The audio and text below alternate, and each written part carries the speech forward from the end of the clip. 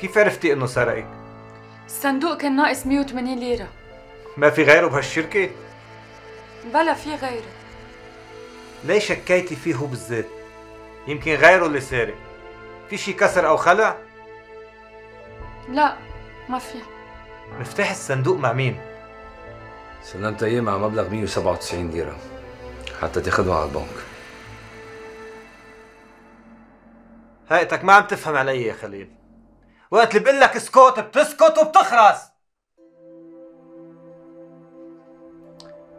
يعني ماشي بالدعوة للآخر؟ ماشي للآخر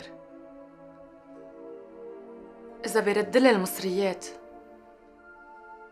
بسامحه شو يا خليل؟ مستعد ترد المصريات حتى تسامحك؟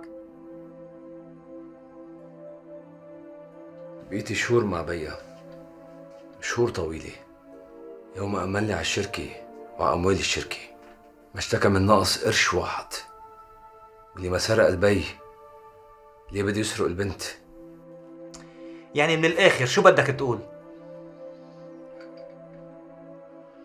أنا بريء يا فندي شو بتقولي يا سونيا؟ ماشي بالدعوة؟ أكيد ماشي إذا غيرت رأيك بسحبها وبسامحك احكي معي أنا يا بنت. ممنوع تحكي معه. بدك تمشي بالدعوة؟ فكري منيح قبل ما تجاوبي أنا على المنطقة ماني راجع وعلى الشركة ماني راجع. خراس! نعم. ماشي بالدعوة. خلال 48 ساعة مجبور ابعته على سجن الرمل. إذا غيرتي رأيك اعطيني خبر.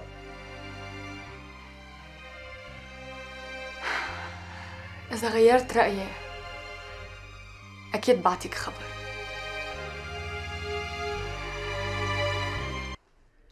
إذا بعتوا وراي للشهادة أنا بصراحة بدي أحكي ضميري. خليل ولا يمكن إنه يسرق حبة قمح من هالشركة. فكيف بده يسرق 180 ليرة؟ ما رح نوصل للمحكمة. معه 48 ساعة حتى يغير رأيه ويرجع لشغله. ومين اللي عطاه هالفرصة؟ بعد 48 ساعة بياخدوه على الحبس. يعني أنت كمان معك 48 ساعة حتى تسحب الدعوة. شاطر. إذا قبل يرجع لي ويرجع على شغله بسحبها. وهو بيعرف كتير منيح هالشرط يعني بدك يرجع لك ويرجع على شغله بالضغط والقوة. في حال رجع رح يكون عدوك مش حبيبك. في حال رجع حيأمن لي شغلي. وأنا رح أعمل جهدي إني أرضيه وخليه يحبني خليل ما له إلا هالمنطقة يتخبى فيها من عساكر فرنسا. ولهالسبب رح يغير رأيه ويرجع. حساباتك كلها غلط يا سونيا. حساباتي كلها صح. مهم دفع سوريا ثمن الكف اللي ضربتني إياه وهنت لي فيه كرامتي. ربيع ما حيرجع. هيدي المنطقة صارت مشموسة. صارت شو؟ مشموسة. يعني عين العسكر الفرنسي عليها. ما رح يكونوا قاصدينه. أنا بعرف كيف ووين خبيه.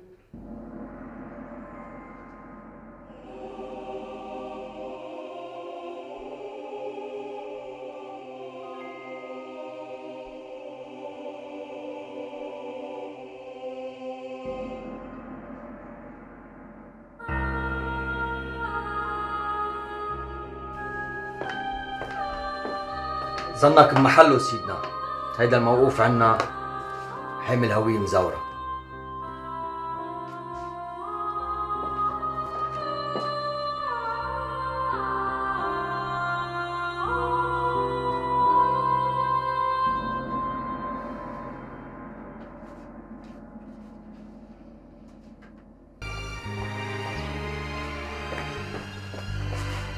عاملة حالك ما شايفتيني يا بنت؟ شفتك وما بدي أحكي معك. يا دي عان التربية فيكي. عن أي تربية عم تحكي؟ عن المسبات اللي كنت اسمعها منك؟ أو عن الكفوف اللي كنت تضربني إياها؟ كنت مسؤول عنك ولازم ربيكي. يبعت لك كسر إيدك على هالتربية. عم تدي علي مقوصة لهي بدك تربية عن جديد. أي أي أي أي. بعرفك كسرة. صايرك الباني كمان؟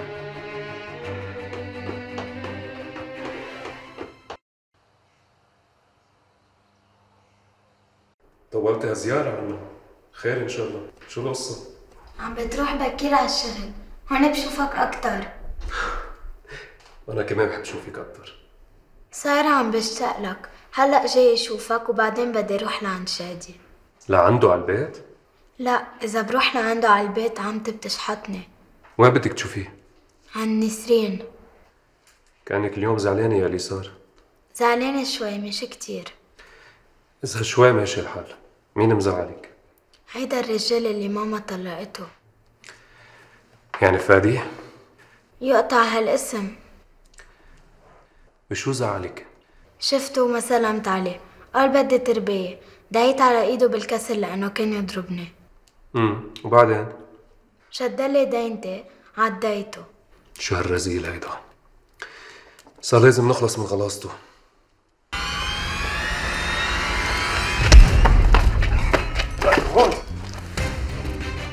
هالمرة بتكفيك ضربة واحدة المرة الثانية رح تكون بالقبر. اسمعني منيح بالكذب.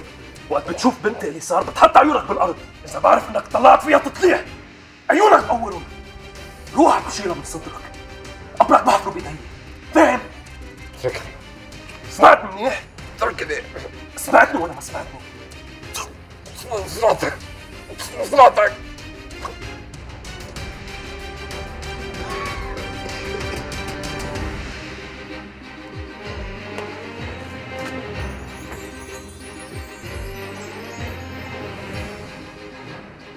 كلكم لتشوفوا أيام سودا مثل الزفت على إيدي.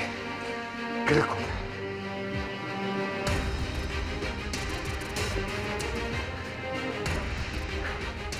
وسام خيي يا بلا رأس يا بلا دماغ يا بلا فهم. أنا بزعل منه هو بيزعل مني بتخانق معه بيتخانق معي. بتهجم عليه بيتهجم علي بس ما بروح بشكيه عند الضابط. كان بلا أدب. كان بلا أدب وبلا أخلاق معي. ضربني. من بعد ما ضربني هددني. وإذا هددك بتروح بتسلمه للعساكر تيضربوه على القليله بوقفوه عند حده. يمكن يرجع يعتدي علي مرة تانية وثالثه ورابعة. كان لازم تخبرني وأنا بحكي مع وسام. لو الحكي بيفيد كنت أنا حكيت معه. كل المشكل ورا الكاسره بنته. شو يلي صار مع بنته؟ كانت مثل العادة راحت تشوف ابنك عند نسرين. أنا بصراحة جربت أمنعها كرمالك. هيدي نسرين صار لازم توقف عند حدها كلمتها ما بتصير اثنين مع ابني. بدل ما تروح تحط خيي بالحبس فكر لي بشي طريقة تخلصني فيها من نسرين. إذا فكرنا هنلاقي أكثر من طريقة. مثل شو؟ مثلا مثل الطريقة اللي خلصت فيها من زوجك. بركي بتموت وبتلحقوا لربيع يا ريت بتموتوا وبتلحقوا يا ريت.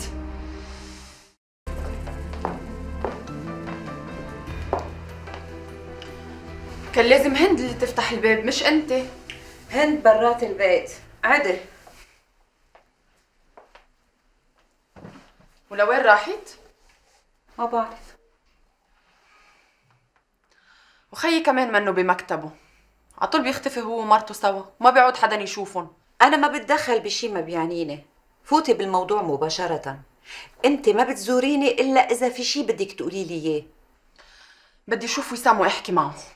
خير شو القصة؟ خيي وسام ضرب جوزي ومن بعد ما ضربه هدده وسام ما بيمد إيده على حدا إلا إذا حدا تعدى عليه. ضربه كرمال هيدي المفقوصة اللي بلا ترباية. إذا قصدك اليسار يا زينة هاي البنت كتير مهذبة. بصراحة أنا اللي ما عرفت ربي. ماني جاية كرمال تسمعيني حكي وتهينيني. أنا جاية حتى أعمل مصالحة بين جوزي وخيي.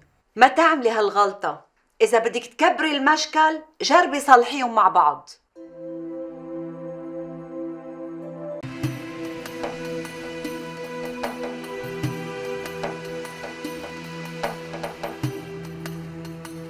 بنوم لشوف.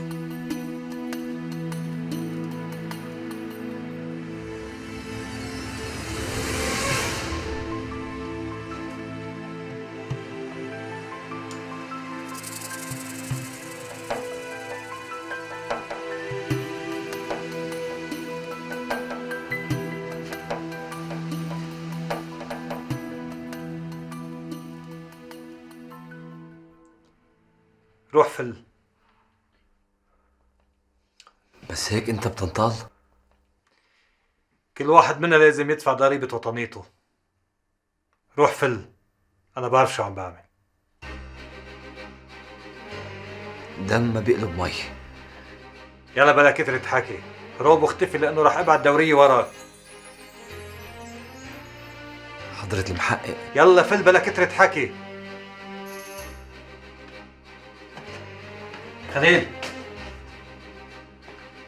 نعم.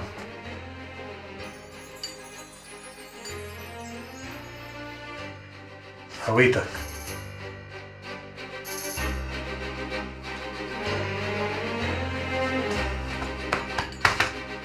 الله معك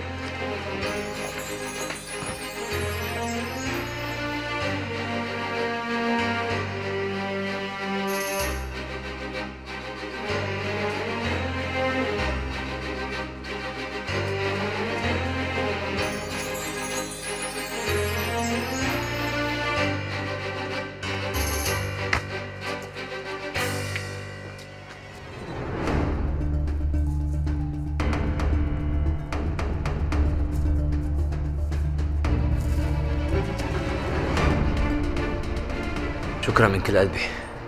شكرا.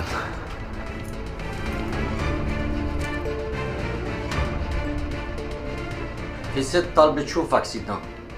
مين هالست ما قالت لك؟ سونيا. قالت اسمها سونيا. كنت متوقع تزورنا. كنت متوقع. خليها تفوت. حاضر.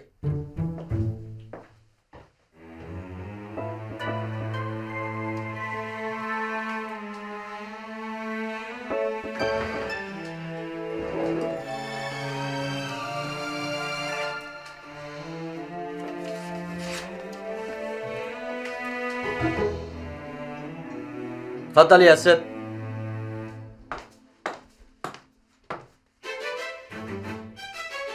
جاية حتى تسامحني يا أفندي ضميري كان عم بيعذبني كل الوقت. لأن أعطيتك شهادة زور. ما كنت عارفة رح أوصل لهون. فكرته رح يرجع على الشغل. هيدا خليل عنيد كتير. كتير عنيد. ما كان بدي إياه يوصل على الحبس. توقعت تيجي أنت والمحامي لتتابعوا قضية الدعوة. ما عاد في قضية وما عاد في دعوة. بقى إذا بتريد؟ أنا كذبت وظلمته. صار لي 48 ساعة على أعصابي. صار لي يومين بلا نوم. وهيدا اليوم الثالث. جاية حتى تشيله من الحبس. مش معقول هالشاب شو قاسي على حاله؟ شهادة الزور يا سونيا. فيها محاكمة وفيها سجن. إذا عندك بنت اعتبرني بنتك وسمحنا وإذا عندك أخت اعتبرني أختك واعفي عنها إذا بنتي أو أختي شهدوا زور ما بعفي عنهم. نية كانت طيبة. صدقني ما كنت ناوية ضره دريتي وكترتي. ما كنت عاملة حساب لهالشي أبدا.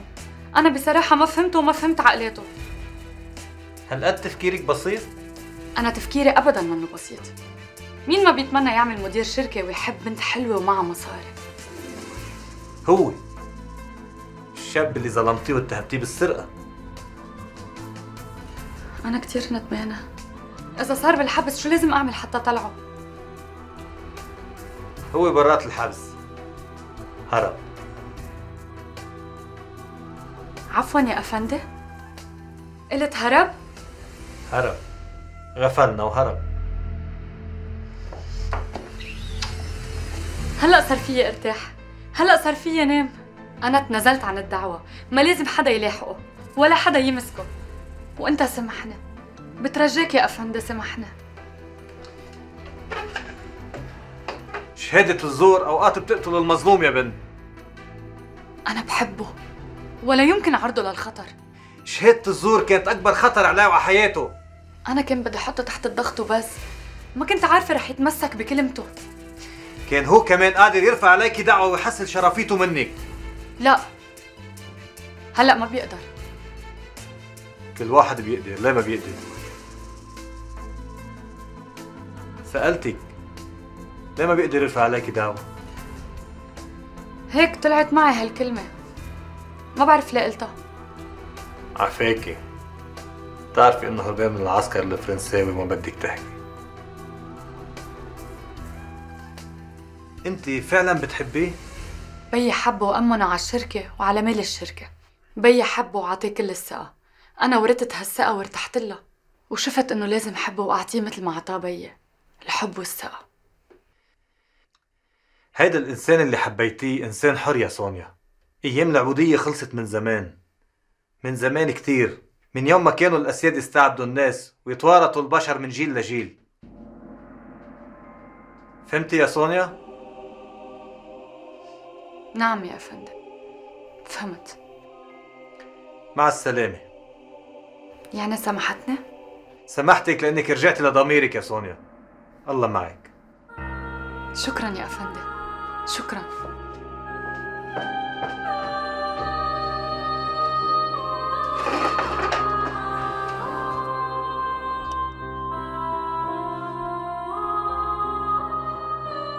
خليل إبراهيم. اسم الأب يوسف اسم الأم ليلى. سيدنا ما في حدا من العسكر برا أنا بعتهم بمهمة.